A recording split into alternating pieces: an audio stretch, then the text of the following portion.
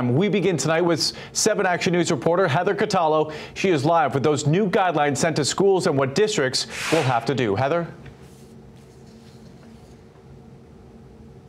Well, this is the document that was sent to all the districts today, telling them they have until April 8th to come up with a plan of how they're going to continue to instruct students it became very clear that we needed to pull our kids out of school. Students in Michigan have to study in place for the remainder of the school year. To fight the spread of the coronavirus, Governor Gretchen Whitmer canceled classes for all Michigan students this year, and she's leaving it up to individual school districts to decide how they're going to keep teaching from afar. Some kids will be able to have some online opportunities.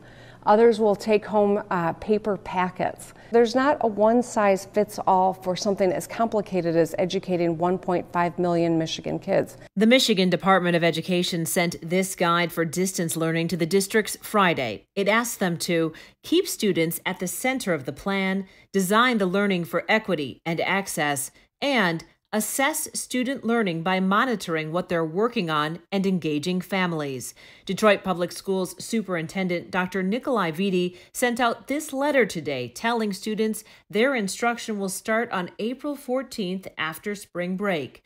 Dr. Vitti says DPS teachers will reach out online and on the phone to check on student progress.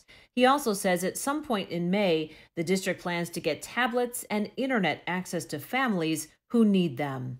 Novi Schools also sent out this letter saying phase two of their continuity of learning starts on April 20th.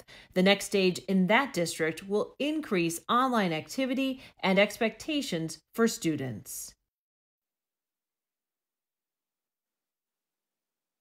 All districts have to have their plans up and running by April 28th. Reporting live, I'm Heather Catallo, 7 Action News. All right, Heather, thank you.